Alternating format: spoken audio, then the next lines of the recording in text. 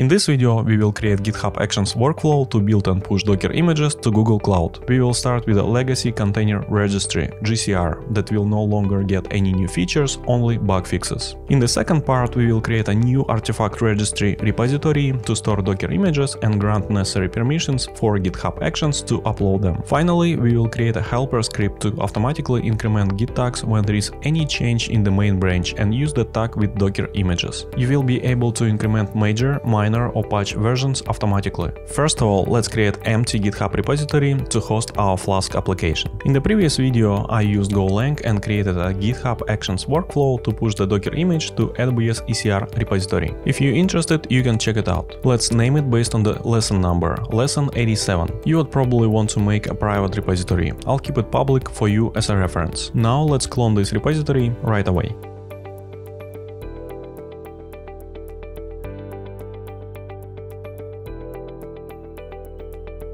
Git will complain that we cloned an empty repository, which is fine. Let's open it in Visual Studio Code or you can pick any other your favorite text editor.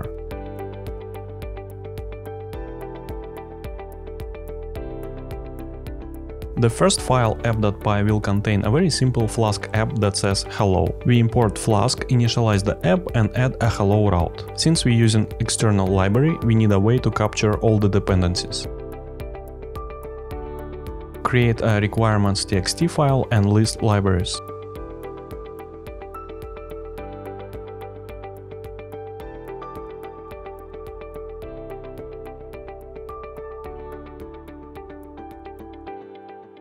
Optionally, you can add gitignore.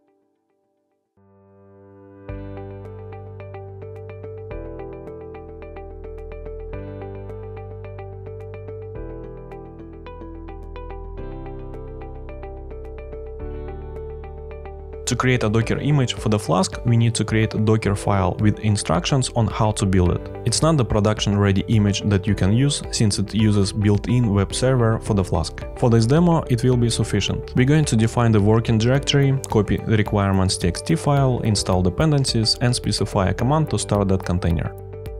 Let's test it locally, first build the image.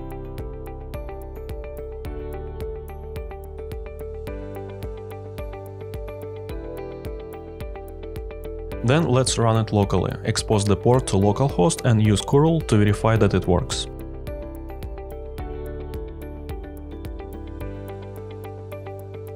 We got back hello world, now we can move on.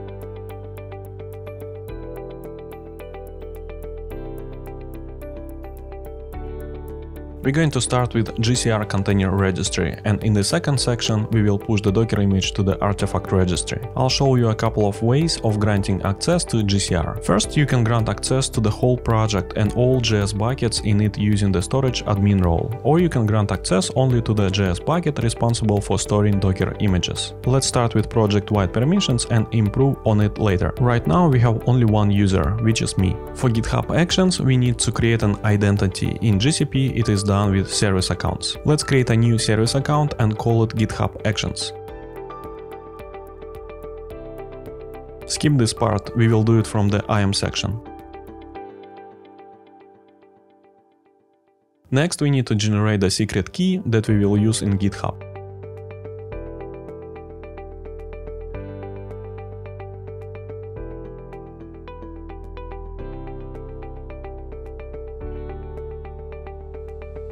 We're going to come back to it later.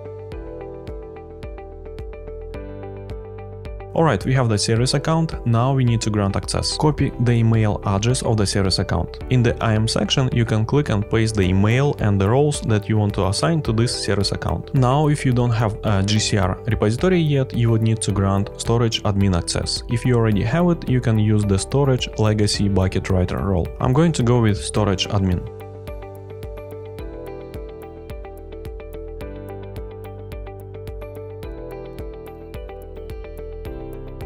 Time to create GitHub Actions workflow. You have to follow the same naming conventions. Create a GitHub folder, then workflows. You can give any name to the file, for example gcp.yaml, to define workflow itself. Let's start with the name of the workflow. You can specify what will trigger this flow. In this case, I only want to run it when there is a change in the main branch. Maybe you commit it directly to the main or merge PR. It will trigger GitHub Actions. The typical use case also is to trigger unit test when someone creates PR to the main branch. Now create a job, build and push is arbitrary name.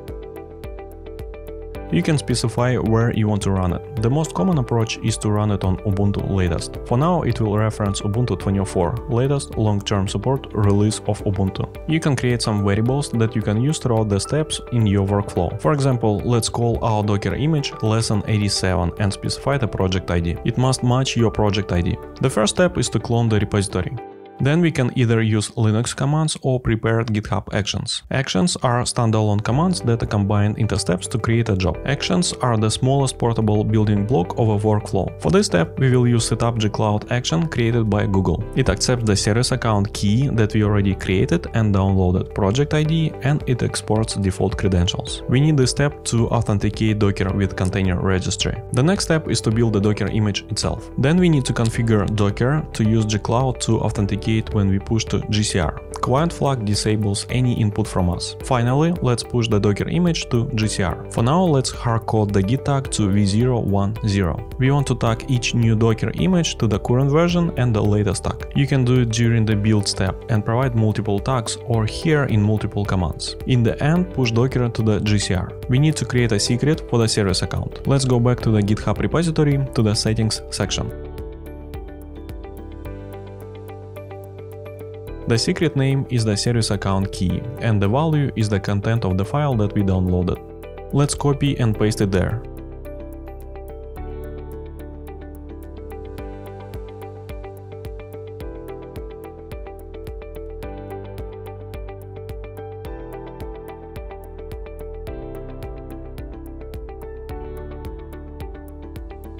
To test GitHub Actions, commit the changes and push everything to the remote main branch.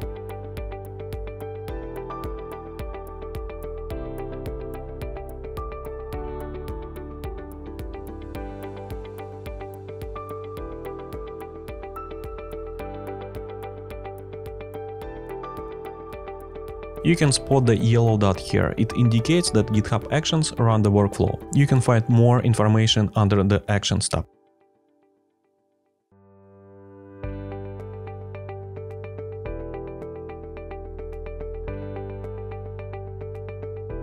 This process takes about 30 seconds, now it's completed.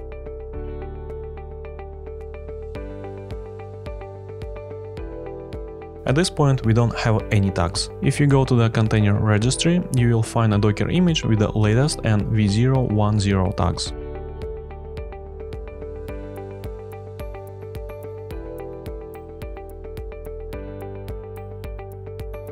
Since we added a service account at the project level, it has admin access to all GCS buckets in your project. Most likely you don't want that. It's better to follow the least privileged principle. Let's remove it from here and add it to the bucket with Docker images only.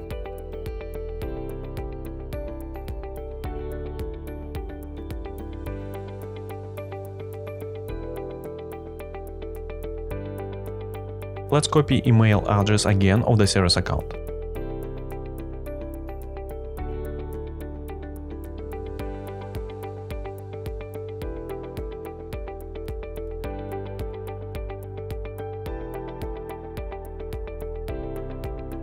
We have a single bucket that was created when we uploaded the Docker image. Let's add our service account to this bucket only. You can either click the Show Info panel and add principal there or inside the bucket.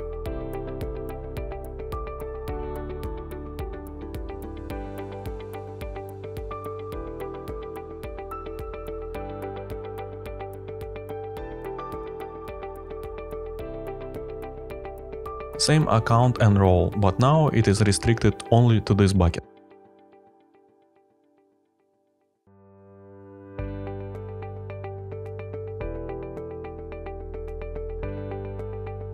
Now let's test it. If you don't want to make a change, you can create an empty commit to trigger the build. Just add allow empty flag.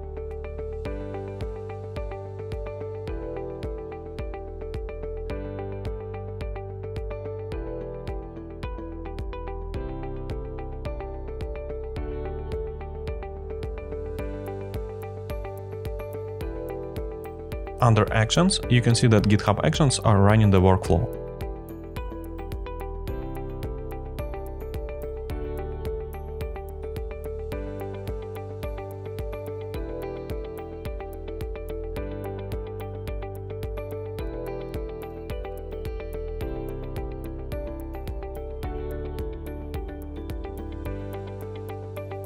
You can see that we have a new image here.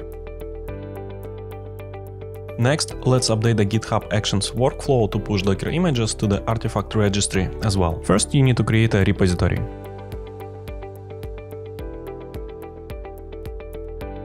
Let's call it images and leave Docker selected. Also, you need to choose the region.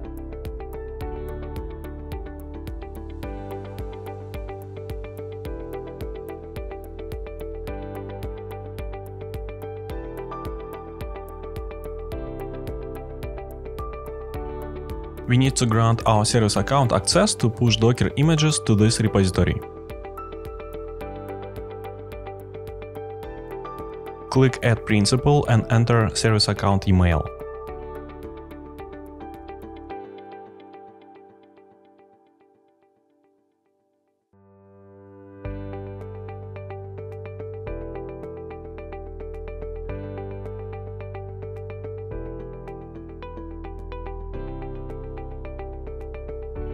For the artifact registry, there is a different set of permissions that you can grant. Give artifact registry writer role to the service account.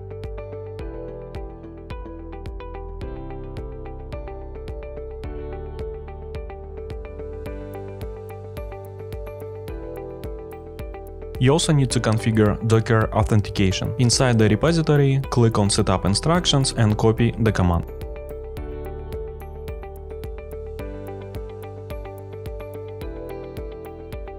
Edit on line 29 right after configure Docker.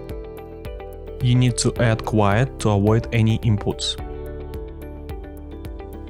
At the bottom, add a similar command to push the images to the artifact registry, only change the tag of the image from GCR to US West Docker package dev. Now let's test commit and push to trigger GitHub actions.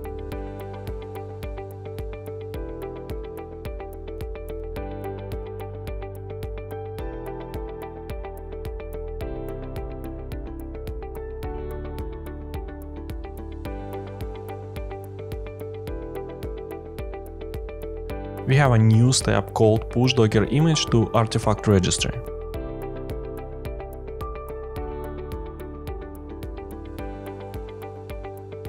Let's check in the artifact registry if you have a new image.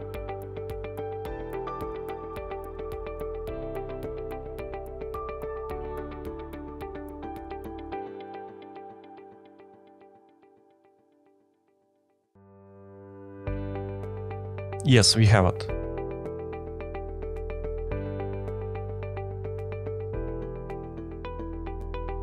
Last improvement for this lesson is to increment the git tag every time there is a change in the main branch. Let's create a helper script for that.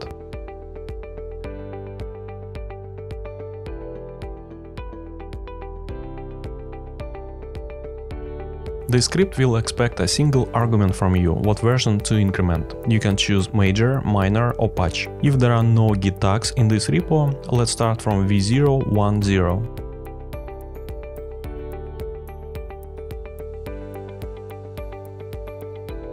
Finally, create a new tag and push it to the remote. This step is very important. We declare the output variable. From this step, we will use this variable to tag Docker images. Take a note of the variable git tag. Add additional step to increment git tag.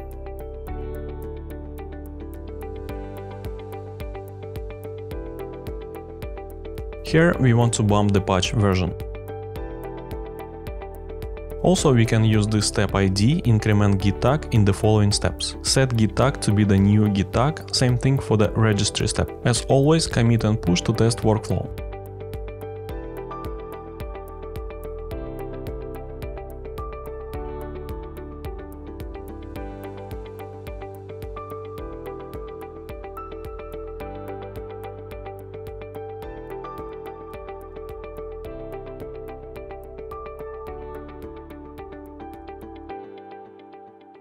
It's running already.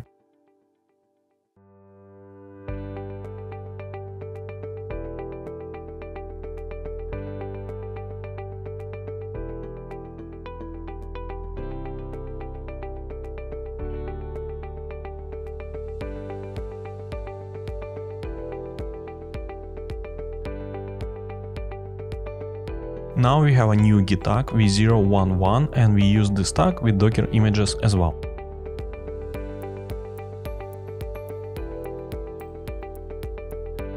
Can see it here v011, same with GCR Docker image.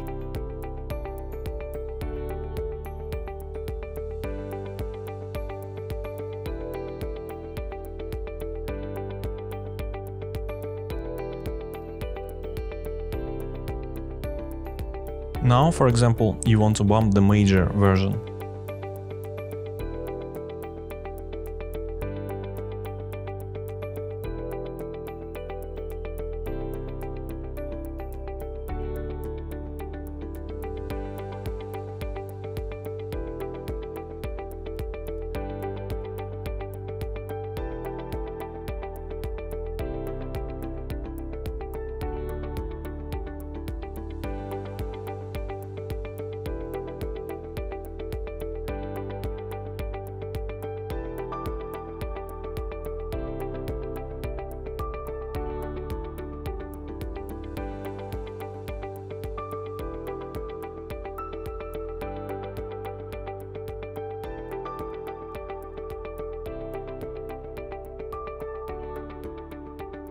Now you have a new tag, v111.